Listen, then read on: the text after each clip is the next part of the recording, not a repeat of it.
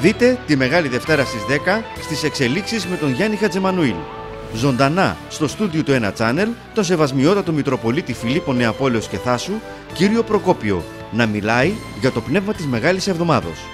Επίσης, ως Αντιπρόεδρος της Διαρκούς Ιεράς Συνόδου της Εκκλησίας της Ελλάδας, μιλά για όλα τα εκκλησιαστικά θέματα.